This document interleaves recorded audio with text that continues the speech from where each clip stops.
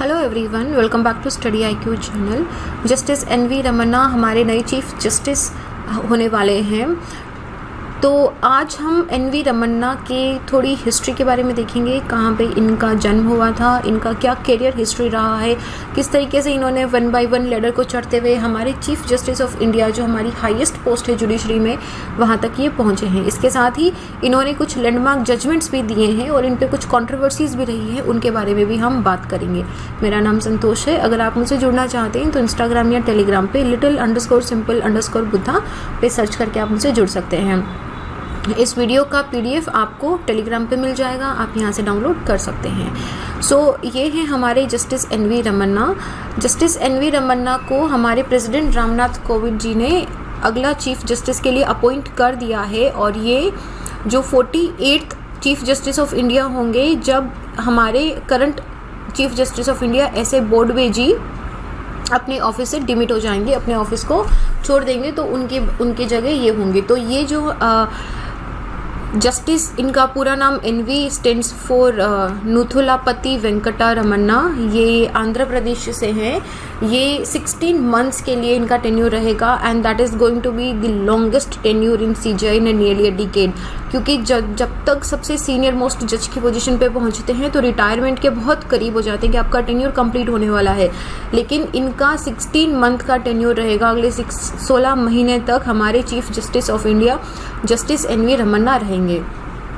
तो अभी तक सीजीआई का यही कन्विक्शन रहा है कि हमारा जो चीफ जस्टिस ऑफ़ इंडिया है, वो हमारे सुप्रीम कोर्ट के सबसे सीनियर मोस्ट जज बनते हैं। सिर्फ़ दो बार ये ब्रेक हुआ है, जब जस्टिस ए एन रे को अपॉइंट करा गया था 25 अप्रैल उन्नीस सौ तिहत्तर को, तब उन्होंने अपने तीन सीनियर मोस्ट जजेस को सुपरसीड करके उनको चीफ जस्टिस बना दिया गया था। और दूसरी बार जस्टिस एम एच बेग को 29 जनवरी 1977 में जब उनसे एक सीनियर मोस्ट थे जस्टिस एच आर खन्ना उनको हटा के उनको ना बना के जस्टिस एम एच बेग को सीजीआई बना दिया गया था तो सिर्फ़ दो ही जगह पे ये आ,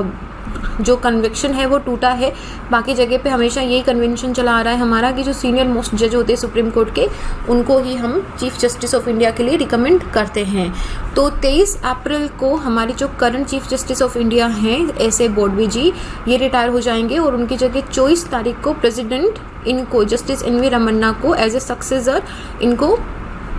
अपॉइंट कर दिया। अपॉइंट तो हो चुका है, इनको शपथ दिला दी जाएगी, इनको ओथ दे दी जाएगी। तो जस्टिस एन वी रमन्ना पे एक्चुअली कंट्रोवर्सी भी है कि सुप्रीम कोर्ट ने हालाँकि वो प्ली डिसमिस कर दी थी। जब आपने कुछ टाइम पहले सुना होगा, बहुत न्यूज़ में था कि आंध्र प्रदेश के chief minister Y S Jaganmohan Reddy ने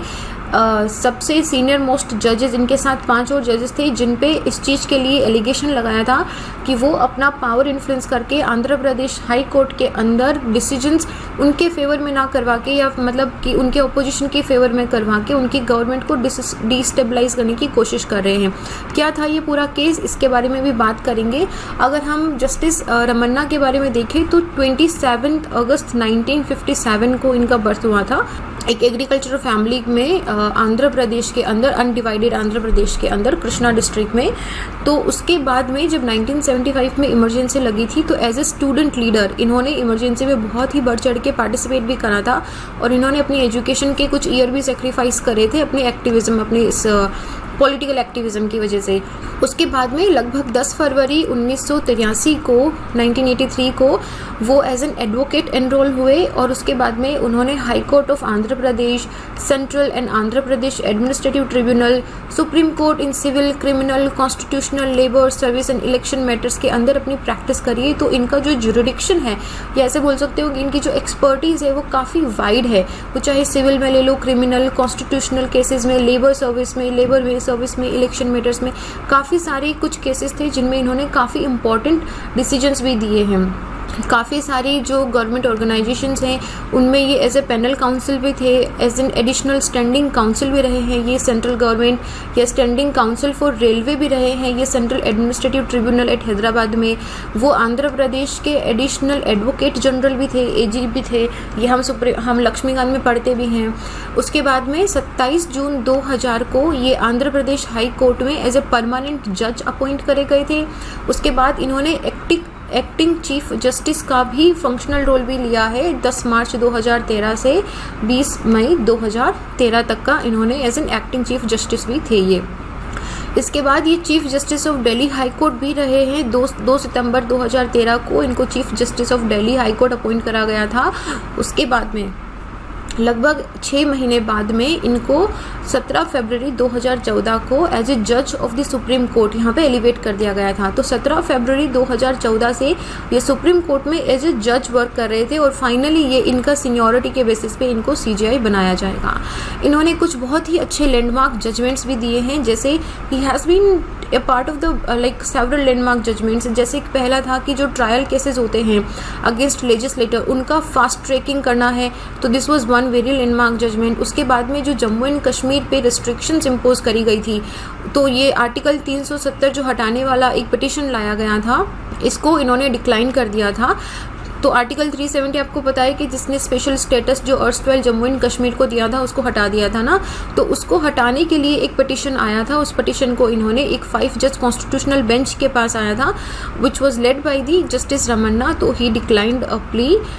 okay और उसके बाद में internet as a fundamental right जो है, देखो अर्लियर जनवरी 2020 के अंदर जस्टिस रमन्ना ने एक रूलिंग दिया था जिसमें बोला था कि access to internet is a fundamental right by extension जो हमारे आर्टिकल 21 हमारा राइट टू लाइफ है, उसके अंदर हमारा फंडामेंटल राइट है इंटरनेट का होना। तो वैसे में जब गवर्नमेंट ने टेलीकम्युनिकेशन ब्लैकआउट कर दिया था जम्मू एंड कश्मीर में तो इनकी ये जजमेंट के बाद में पाँच अगस्त दो हज़ार उन्नीस को वापस ये रिवोक कर दिया गया था। इसके अलावा एक और बहुत ही इंपॉर्टेंट जजमेंट में फाइव जज बेंच एक बैठी थी सुप्रीम कोर्ट में which was headed by justice Ramana, जिन्होंने एक क्यूरेटिव पिटिशन ही उन्होंने बताया कि dismissed a curative petition filed by Pavan Kumar Gupta who was sentenced to death in the 2012 Nirbhaya gang rape and the murder case तो उसके द्वारा जो क्यूरेटिव पिटिशन फ़ाइल करी गई थी, उसको उन्होंने डिसमिस कर दिया था और उसी को मतलब like this paved the way for his execution also तो बाकी चार निर्भया जो निर्भया केस के कॉन्विक्ट थे, उनके साथ उनमें पवन कुमार भी था, जिसको 20 मार्च 2020 को तिहाड़ जेल के अंदर हैंग टू डेथ कर दिया गया था। इसके साथ ही उन्होंने एक और लैंडमार्क वर्डिक दिया था, कर्नाटका असेंबली केस के अंदर। उन्होंने बोला कि क्लेरिफाइंग उन्होंने लीगल पोजीशन क्लेरिफाई क्लेरिफाई करी थी डिस्कालिफिकेशन को लेके कि डिस्कालिफिकेशन जो हमारा टेंथ शेड्यूल के अंदर आता है, उसमें डिफेक्शन को आप कंटेस्टिंग री इलेक्शन का बार नहीं बना सकते कि आपने उसको डिफेक्ट कर दिया है, उसके बाद आप उसको उसको री इलेक्शन का you can you can not operate defection as a bar for contesting re election की हम री इलेक्शन करेंगे, ठीक है? ऐसा नहीं है, आपका डिस्कालिफिकेशन डिफेक्शन हुआ है तो आप री इलेक्शन नहीं कंटेस्ट करोगे. This is not the correct way इसके अलावा फरवरी इसी साल के अंदर इन्होंने एक और बहुत ही अच्छा जजमेंट दिया था, जिसने ही हेल्ड दैट जो रिस्ट्रिक्शंस दी जाती हैं अगेंस्ट ग्रांट ऑफ़ बेल किसी भी जैसे कि unlawful activity and prevention act 1967 में, वो आप उसको मना कर सकते हो पर से बट अगर वो फंडामेंटल राइट right का वॉयलेशन करता है तो ये कॉन्स्टिट्यूशनल कोर्ट की एबिलिटी है कि वो उसको बेल ग्रांट कर सकते हैं। तो ये स्पीडी ट्रायल के लिए भी था और ये काफ़ी अच्छा था कि ह्यूमन राइट को it was it was supporting the human rights also कि अगर आपका वायलेशन ऑफ़ फंडामेंटल राइट होता है तो उस ग्राउंड पे आपको ग्रांट बेल करी जा सकती है और आपका स्पीडी ट्रायल होगा। Even in such strict laws जैसे कि unlawful activities prevention act 1967 also तो ये कुछ उनके बहुत ही अच्छे लैंडमार्क जजमेंट्स रहे, जो वैसे भी आपको आंसर राइटिंग में भी काम आएँगे। तो यहाँ पे क्या हुआ है कि देखो अभी अभी बहुत ही रीसेंट कंट्रोवर्सी है ये, जब आंध्र प्रदेश के सीएम जगन मोहन रेड्डी ने एक ओपन लेटर लिखा था गवर्नमेंट को, और उस ओपन लेटर में बोला कि जो जस्टिस रमन्ना है, वो अपने पावर को यूज़ करके Andhra Pradesh high court judiciary को यूज़ कर रहे हैं ताकि उनकी गवर्नमेंट को डिस्टेबलाइज करा जा सके। और ये उन पर एलिगेशन लगाया गया था कि जो टीडीपी लीडर और former chief minister N Chandrababu Naidu हैं, उनके साथ उनकी प्रॉक्सिमिटी है, इसलिए वो अपोजिशन के साथ मिलकर उनकी गवर्नमेंट को डिस्टेबलाइज करना चाह रहे हैं। तो ये जो कंप्लेन है चीफ मिनिस्टर ने सुप्रीम कोर्ट को भेजी थी which was held within house procedure हुआ था और उस स्टैंड को डिसमिस कर दिया गया था। उसके बाद में ये नोट लिया गया था कि ऐसे जो मैटर्स हैं, वो इन हाउस प्रोसीजर में बहुत ही स्ट्रिक्टली कॉन्फिडेंशियल नेचर के साथ होते हैं और वो पब्लिक में नहीं बनाए जाएँगे, ऐसा सुप्रीम कोर्ट ने अपनी वेबसाइट पे बोला था।